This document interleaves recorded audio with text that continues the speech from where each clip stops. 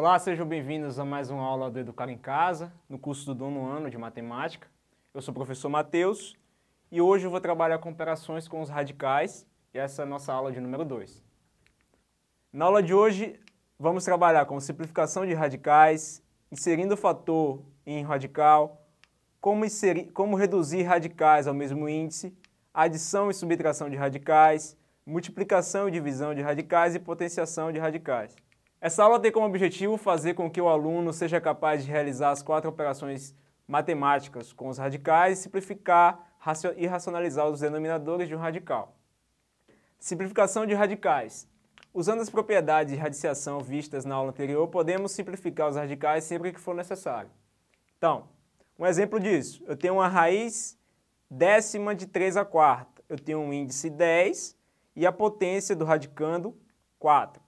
Eu posso, usando as propriedades de, de radiciação que a gente viu na aula anterior, dividir o índice por um número, desde que eu divida a potência pelo esse mesmo número. Então, se eu dividir o índice por 2, eu tenho que dividir a potência por 2. Isso é uma regra da radiciação. Então, eu divido o índice por 2, 10 dividido por 2, e 4 dividido por 2. 10 dividido por 2 dá 5, e 4 dividido por 2 dá 2. Então, eu simplifico esse radical a esse radical, que é mais simples, para trabalhar. Outro exemplo é a raiz cúbica de 8. Eu posso, eu tenho um índice 3 e tenho 8 como radical, como radicando. Então, como o índice é 3, eu posso escrever 8 como um número de potência 3. Então, Simplificando 8, 8 é a mesma coisa que 2 ao cubo. Então, no lugar de 8, eu posso escrever 2 ao cubo. E usando a propriedade de radiciação, eu posso escrever que a potência vai dividir o índice. Usando aquela regrinha de quem está na sombra vai para o sol e quem está no sol vai para a sombra. Então, eu tenho 2 que elevado a 3 sobre 3, que dá 2 elevado a 1, que é a mesma coisa que 2. Outro exemplo, eu tenho uma, uma raiz de uma fração, eu posso fazer uma fração de duas raízes, fazendo a raiz no numerador e a raiz no denominador. Então, a raiz do numerador fica a raiz de A, e a raiz do denominador fica a raiz de B quadrado. Só que aqui eu tenho um índice 2 e aqui eu tenho uma potência 2. Eu posso cancelar esse 2 com a raiz quadrada, que fica a raiz de A sobre B, ok? Outro exemplo, eu tenho a raiz quarta de A elevado a 4 vezes B. Eu posso dividir isso aqui em duas raízes. Eu posso fazer a raiz quarta de A elevado a 4 vezes a raiz quarta de B. Eu divido uma raiz em duas raízes de mesmo índice. Isso eu posso fazer. Então, fazendo isso, eu tenho que o índice 4 e o, a potência é 4. Então, fazendo a mesma coisa que a gente fez antes, de quem está na sombra vai para o Sol e quem está no Sol vai para a sombra, podemos fazer que isso aqui vai ser A elevado a 4 dividido por 4, que vai dar 1. Então, fica A. E B vai ficar a raiz quarta de B. Eu simplifico uma coisa mais complicada em algo mais simples. Inserindo o fator em um radical. Podemos inserir qualquer número real A dentro de um radical, desde que as propriedades sejam satisfeitas. Então, eu tenho um radical, que é um produto de A elevado a 7 vezes a raiz cúbica de B. Eu posso colocar isso aqui em uma mesma raiz. Para fazer isso, eu tenho que ter uma raiz de mesmo índice. Então, eu tenho que colocar esse A elevado a 7 dentro dessa raiz cúbica. Como é que eu faço isso?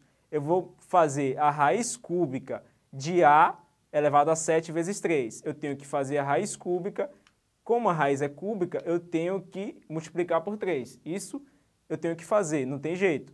Então, para me jogar isso aqui, aqui dentro, eu tenho que passar elevando isso aqui a 7 vezes 3 para me ter a raiz cúbica. Então, eu vou ter a raiz cúbica de A elevado a 7 vezes 3 vezes B. A elevado a 7 vezes 3, 7 vezes 3 dá 21. E eu tenho B, que multiplica.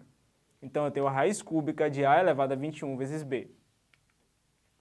Um outro exemplo é, eu tenho 3 vezes A, que multiplica a raiz, a raiz quadrada de 5. eu tenho que colocar esse 3 vezes A aqui dentro. Como é que eu faço isso? A raiz é quadrada, então esse 3 vezes A vai entrar ao quadrado. Então, 3 ao quadrado entra aqui, A ao quadrado entra aqui.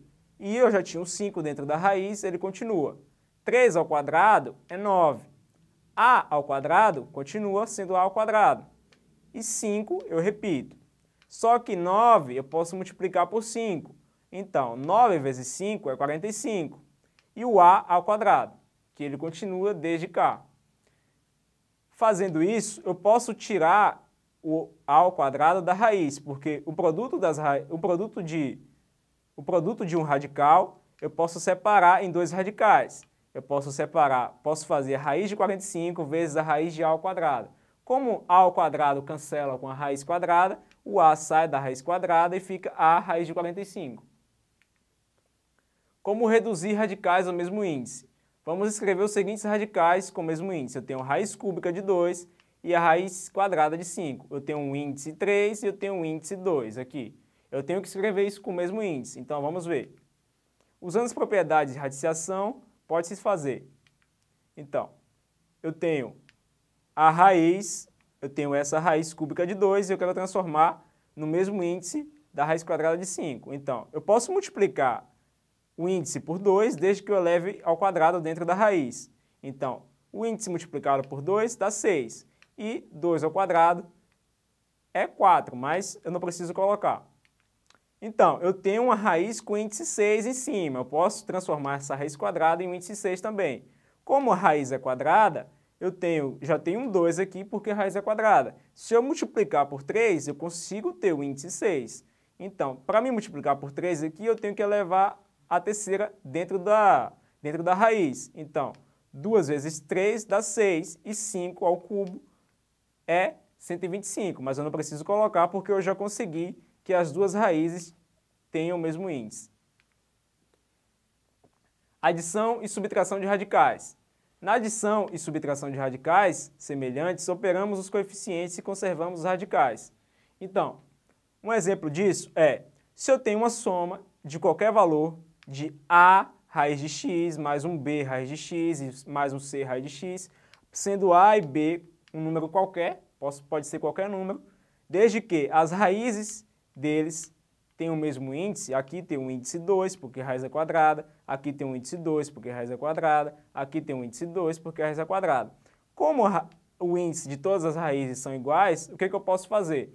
Eu posso somar os coeficientes e multiplicar pela raiz. É como colocar em evidência.